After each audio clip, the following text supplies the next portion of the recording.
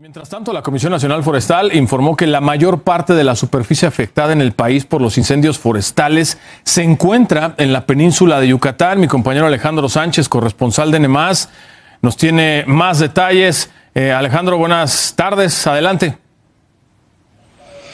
Muchísimas gracias, Javier. Qué gusto saludarte. Y efectivamente, como señalas, pues estas condiciones inéditas, atípicas, como señalan los sistemas meteorológicos de 40 a 46 grados, pues han sido las causas por las que esta zona del país, los tres estados, Yucatán, Campeche y Quintana Roo, pues se mantiene como una de las de mayor devastación por casos de conflagración. Te muestro rapidísimamente en el monitor a cuánto estamos en estos momentos en Mérida, 43 grados, Javier, y estos 43 son los que han prevalecido en toda esta zona. ¿Qué es lo que ha pasado a partir del primero de marzo en Quintana Roo? Empezamos por allá, estamos hablando de que hay 5.550 eh, hectáreas devastadas, hay 14 incendios activos en estos momentos, 5 en Bacalar, 2 en Otompe Blanco, 2 en José María Morelos, 2 en Isla Mujeres y 2 también en Cancún.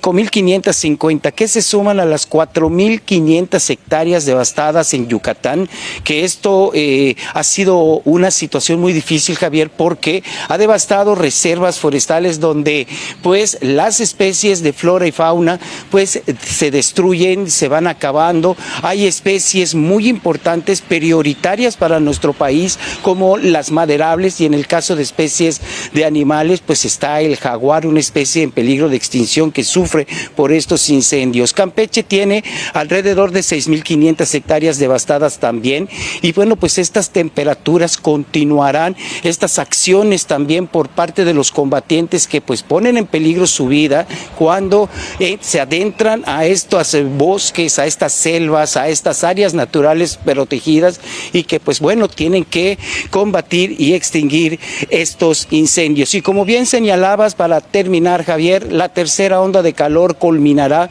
por lo que todos los sistemas de protección civil y de salud, pues también están pidiendo pues mucha prevención a la hora de ir a las carreteras, a no tirar colillas de cigarro o no dejar fogatas encendidas, por ejemplo, cuando se va a acampar a las playas o a las reservas ecológicas. Así las cosas con un registro de temperaturas muy, pero muy importantes, Javier.